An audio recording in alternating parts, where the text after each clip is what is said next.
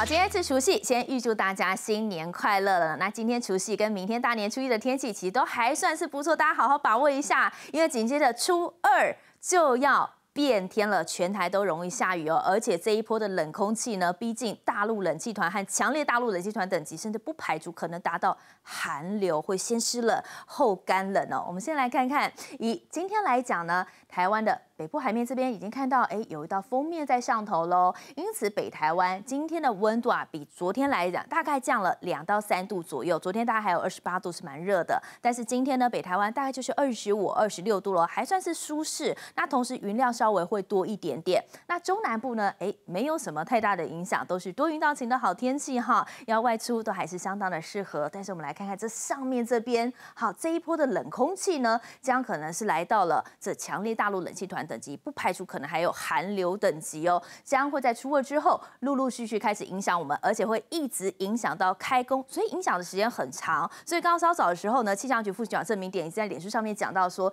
这一波北方的冷空气可是强大。大的冷空气哦，因此呢，大家在连假的后几天可要注意一下保暖了。那我们先来看看，以今天状况来说呢，是北台湾好稍稍降温，好有变凉一些些，但是天气还不至于会太差。那只有在迎风面，大概是基隆北海岸，还有在宜花洞这边一点点零星的降雨，那基本上都还算是稳定，就是云量稍微多一点的阴天。那中南部通通都是好天气，但是接下来呢，来初二回娘家这一天，全台都会变天哦。我们赶快来看一下哈，在初二的时候呢，全台都会容易下雨哦，因为封面过来。之后，然后华南的水汽也抬上来，然后全台天气都不好，而且温度就要陆陆续续开始往下降了。北台湾的高温大概就不到二十度了。那初三到初四呢，同样也都是这样比较湿冷的天气形态，甚至在高山、玉山、阿里山、合欢山这边还有可能。会下雪哦，所以这个冷空气的威力是还蛮强大的。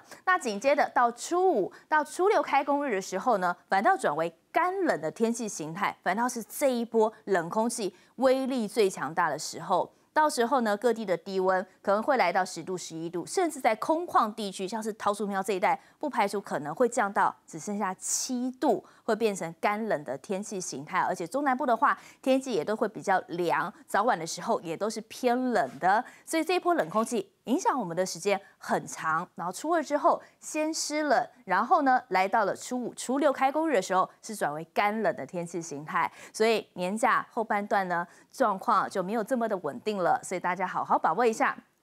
今天除夕还有初一的天气倒是不错的，大家想要外出走走啊，都还是非常适合。初二之后就要注意保暖喽，先湿冷后干冷，甚至下探七度，绝对需要注意一下身体的健康。追随着。